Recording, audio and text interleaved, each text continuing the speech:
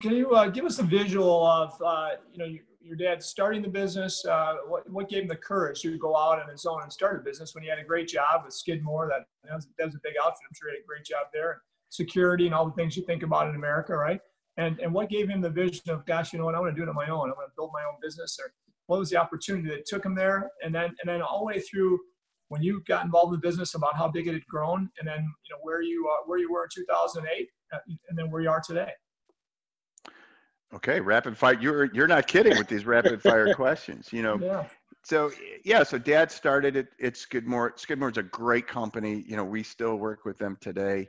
Hmm. Uh, he ended up going over to Perkins and Will, which is another Chicago-based architectural and engineering company. Terrific company doing some iconic buildings all over the world. And he became chief engineer there. And you know, in an architectural and engineering company, the architects are the kings and the queens. And, uh-huh. and so, you know, he always wanted to do his own thing. He had a really strong following um, from architects, both within P&W or Perkins and Will and around the city. So he thought he would go out and try it on his own. And so that's what he did. He, you know, a company of one. uh, and then soon uh, some of the engineers from Perkins and Will followed him and um, um, and then even the architects at Perkins and Will and Skidmore wanted to give him work. So he was really good at what he did, and so he he was able to start it that way and and uh, and grew our company into the largest mechanical and electrical engineering firm in Chicago. And so most of our business was in the Chicago area, working in commercial office buildings and and doing some healthcare. So that's how it that's how. Well, and, and most people would say, "Holy cow, man! You're doing all this big work all over Chicago, one of the greatest cities in the in the world. Uh, you know, can you handle all that?" And and, and what was your mindset as you came on board to say this is as, as big as it should ever get, or man, let's let's grow it uh, nationally, globally, and all that? I mean, how, how that happened?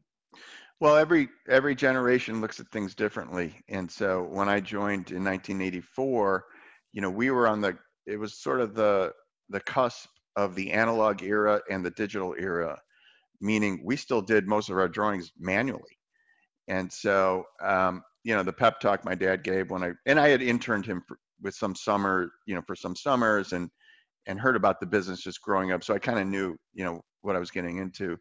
But he would say that, you know, he was the principal of the firm and the principals give their time away and you really make money on the people doing the production of the drawings and mm-hmm. you know the guys in the bullpen and that's what we sat out in this open area drew drawings and and that's how the business worked right um, but slowly and then really quickly that began to change because in the digital world the uh, uh, you know things go a lot quicker all of a sudden the drawings the production of the drawings became more of a commodity every year mm. and and then you know introduce globalization that came later where information and capital gets transferred instantaneously. Now there's a whole uh, huge labor market where they can produce drawings a lot cheaper than we can here.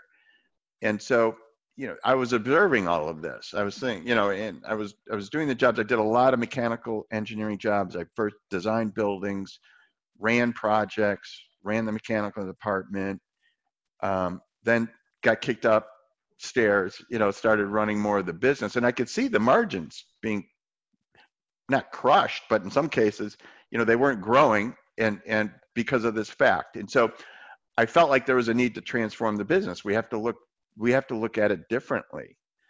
And, and again, that's how every generation looks at it differently. And that's when, um, you know, around that time, 96, 97, um, I started putting some changes in place to transform the business to become m- more global, get I, getting out of the commodity engineering business, going into more um, complex things mm-hmm. where it, it, it, wasn't so fee driven. And and and it, I can give you an example. The we we really got our start when when dad started working with the chicago board of trade back in 1968 you know he would tell the story that that was the big job that put us on the map. And, and in 1968, the Board of Trade was an old building even then. Sure. They were renovating it. None of the incumbent firms wanted it. It was a really messy job. He was hungry. He wanted work. So he got it, did a great job. And what we ended up doing was uh, all of the exchanges in Chicago, because at that time, if you if you look back, Chicago became a big futures and options market. Um, we kind of owned the derivatives market here in Chicago. A lot of innovation going on. So Mhm. there's new floors being built for the Board of Trade, the Chicago Mercantile Exchange, the Options Exchange, the Midwest Stock Exchange, and we did all of them. And so um, that put us on the map with financial services firms. We started doing more work with the traders, the market makers, the banks. All of that was a great ecosystem for us. But again, you know, what started happening to them? Technology. Yeah. And so the trading floors today are dying or dead. And Mhm. so what what we saw, the next generation saw, was the advent of electronic trading. And so if you think about it, you know, in one case, our our one market is going away, the open outcry exchanges, but there was a huge opportunity to take advantage of electronic trading because it's all electrical and mechanical systems.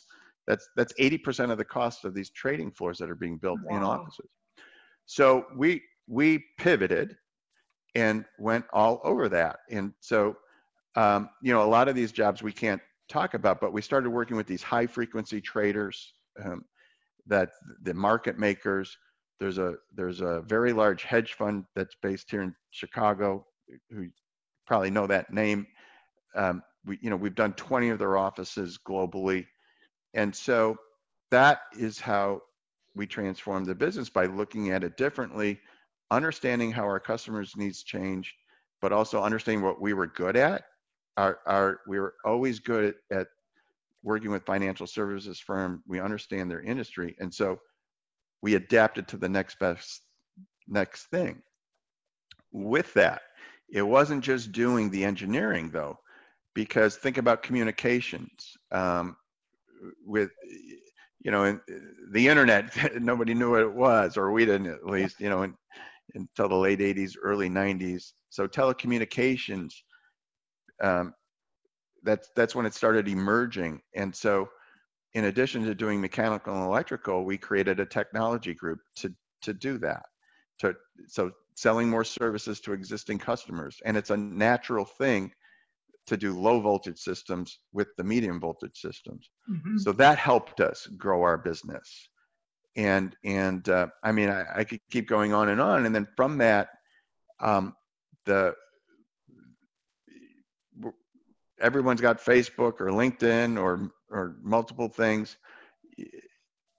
You know, the financial services firms were the first ones who we saw who had these data centers, the backup data centers.